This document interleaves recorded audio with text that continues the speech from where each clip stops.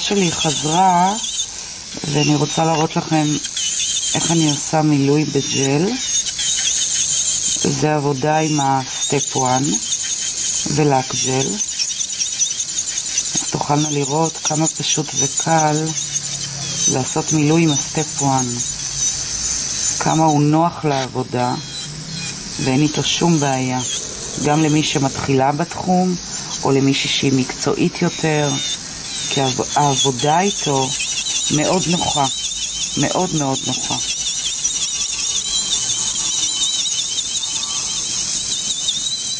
קרה משהו. אמבולנסים ו... יש רפאים לכודים פה באזור. לכודים? כן. איפה? אמרו ליד ביאליק משהו. ליד ביאליק? וואי. וואי, וואי, וואי. אני לא יודעת, אנשים. השם ישמור. אמרו שבבוקר הודיעו על שריפה ברמת גן. אז אולי זה זה. ואולי יש לי שתיים. לכודים זה לא טוב, זה, זה השם ישמור אלוהים. כנראה זקנים שהדליקו או משהו תנור כזה של פעם. וואי. צמיחה וזהו.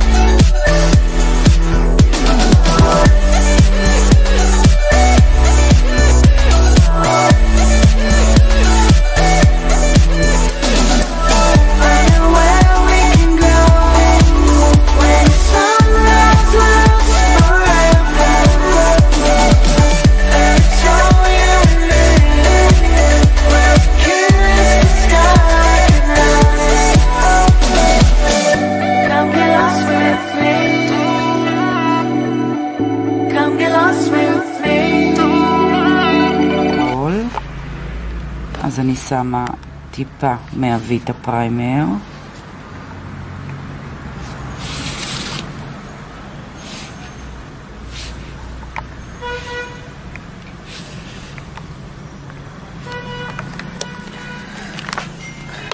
ואני הולכת לטאק. ואני הולכת לטאק ומורחת שכבה. וזה הולך למכונת לד.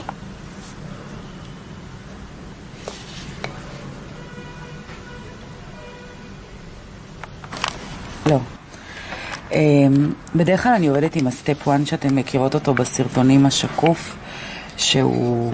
אמ, אני עובדת איתו בציפוי ציפורן טבעית, אני עובדת איתו בדיפ ג'ל, אני בונה איתו ציפורניים, אבל יש גם, למי שלא מכירה, את ה pink של ה step 1, שהוא גוון מדהים, אתן רואות אותו כרגע מרוכז, הוא לא כזה על הציפורן, אבל הוא פשוט מדהים מדהים. אני חולה, חולה על ה step 1, אתן יודעות את זה, אבל הוורוד זה פשוט, אה, פשוט מדהים. אז אני לוקחת כדור קטן בהתאם לגודל של הציפורן, ואני אראה לכם איך אני עובדת איתו. יש לי הרגשה תמיד שהוא טיפלה, טיפלה יותר סמיך מהשקוף, אבל יכול להיות שזה רק אני וזה רק הרגשה, כי תכלס, העבודה איתה, איתו היא אותה עבודה כמו עם השקוף. אני באמת כל כך נוח לי וכל כך כיף לי להמליץ לכם על מוצרים שאני עובדת איתם, שאני מתנסה איתם. שהלקוחות שלי חוזרות מושלם, והעבודה פשוט כיפית. תראו איזה גוון יפה לציפורן, אז אם יש לקוחה שיש לה איזה שהם סימנים בציפורניים ואתן רוצות להסתיר, אפילו אם אתן מורחות לה לק אדום, זה לא משנה. ברגע שאתן מסיימות את העבודה ואת הפינישים ואתן מורחות לה את ה base והיא מסתכלת על הגוון של הציפורן שלה, היא נהנית לא פחות ממכן. אז יש פעמים שאני עובדת עם הסטפ 1 בגוון ורוד ובדרך כלל אני עובדת עם השקוף. אם את בתחילת הדרך או שאת עדיין לא התנסית בג'לים, אז ההמלצה שלי לא לבזבז כסף ולקנות גם שקוף וגם ורוד.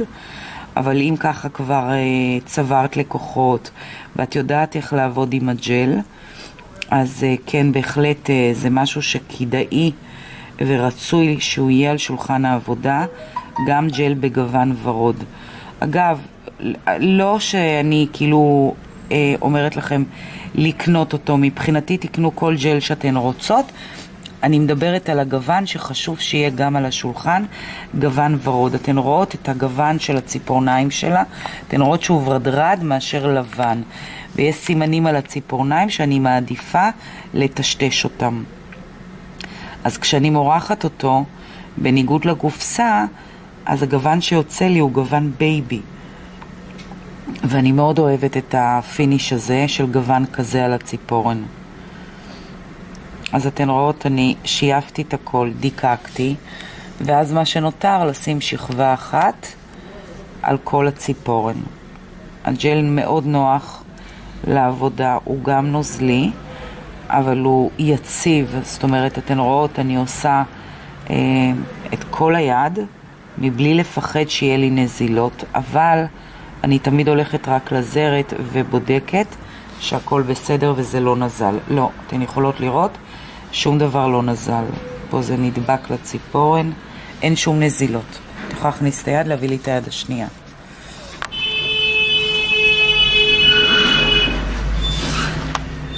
אז אתן רואות את הגוון שיש לה בציפורניים, פשוט אני משנה לה את זה עם הגוון הזה.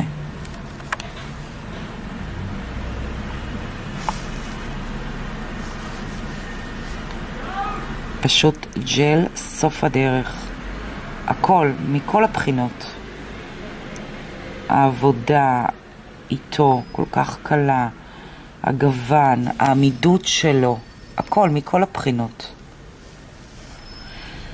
שפרה, את חזרת אליי עכשיו, אה, לא עברו שלושה שבועות, עבר יותר, חודש, אולי יותר. חודש פלוס.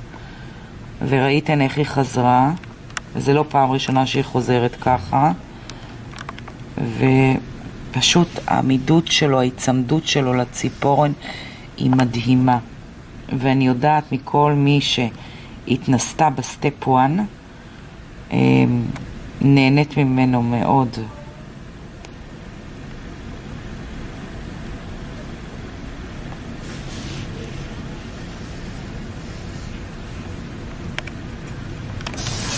אז אתן רואות, אני לוקחת אה, ראש קרחת, קר הבית, כזה אורך? לא רואה יותר קצר. יותר קצר מזה? באמת?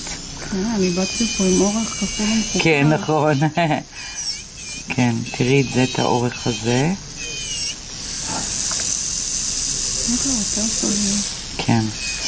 טוב, אז אתן יכולות לראות שעם ג'ל באמת כמעט ואין מה לשייף.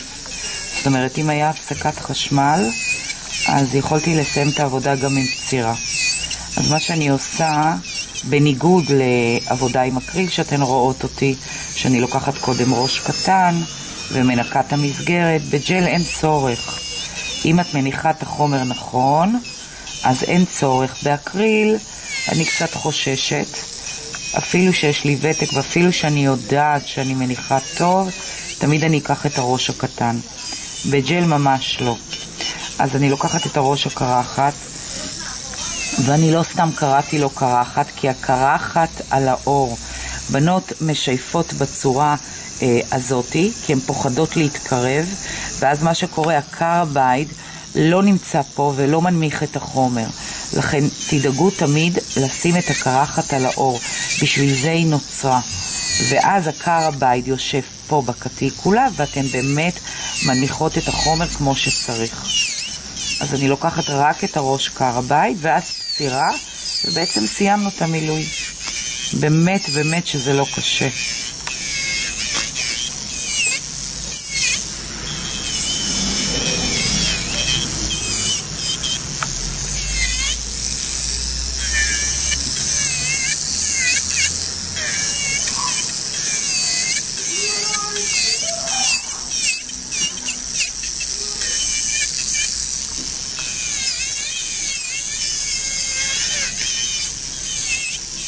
ענקי, הרבה פעמים כשאני עורכת את הסרטון זה קצת רחוק. תנסי לעשות זום כדי שהם יוכלו לראות באמת, או טיפה אליי, שהם יוכלו לראות באמת איך אני מנמיכה פה בקטיקולה. אתן רואות?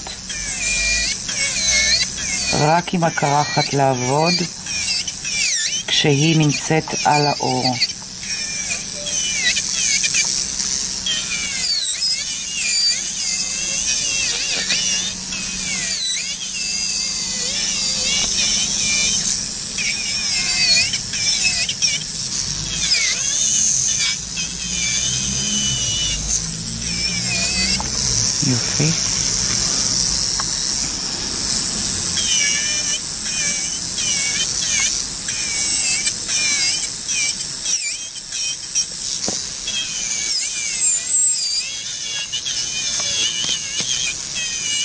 עכשיו עוד דבר בקשר לגוון של הצבע.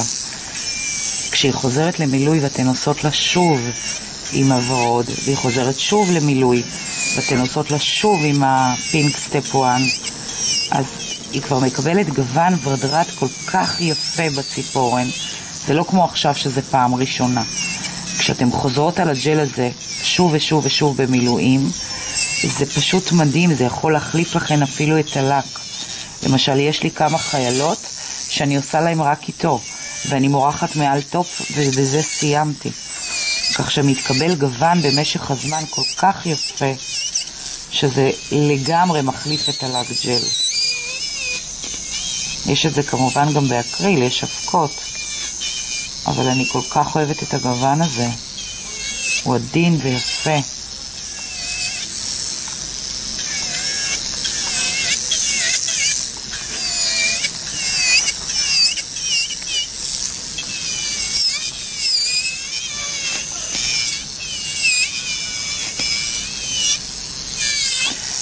תראי להם שוב את ההנחה של הקריאה.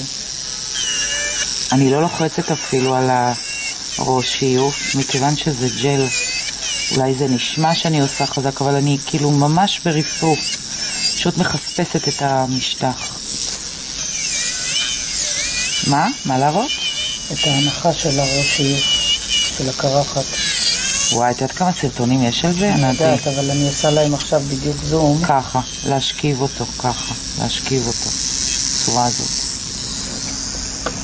אני שמחה שאת ממושמעת חלק. כן, אה?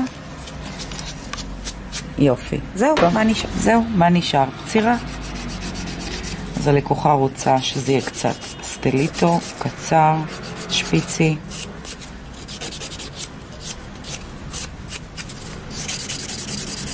קצת מחליקה מלמעלה, מלמטה כרטיס אשראי,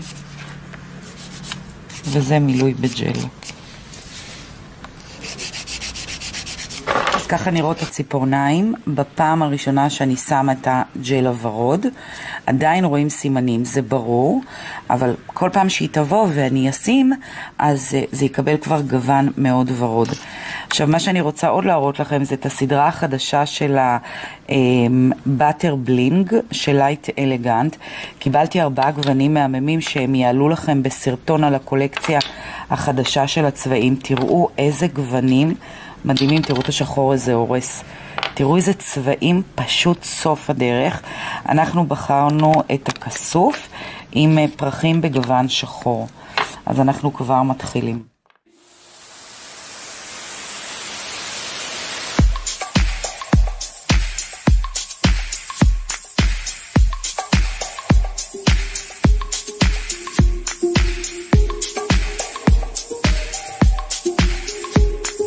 ממש אוהבת את הסדרה הזאת, למה?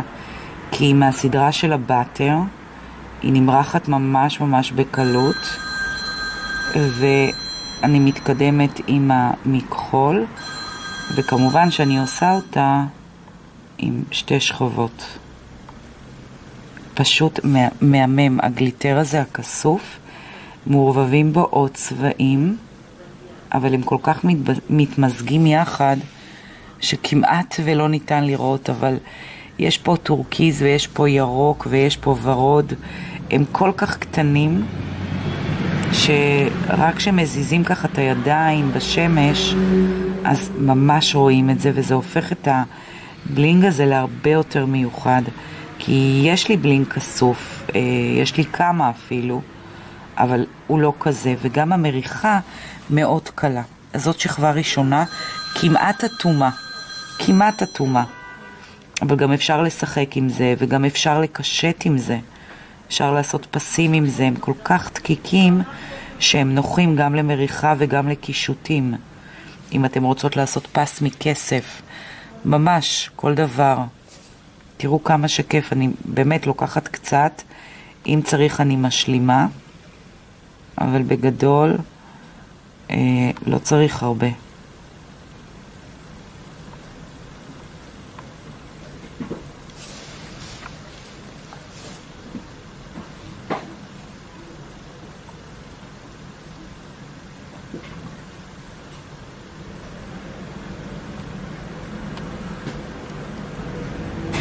שכבה שנייה.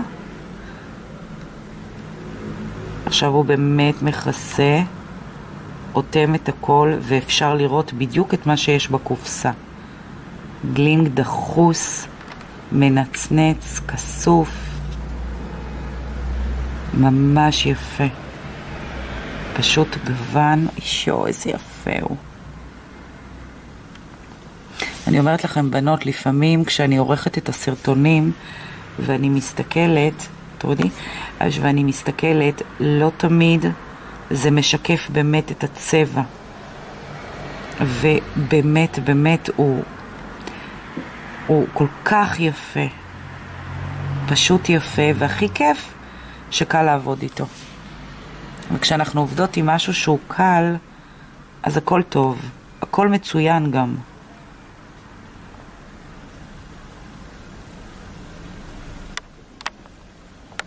אוי, כמה הוא יפה.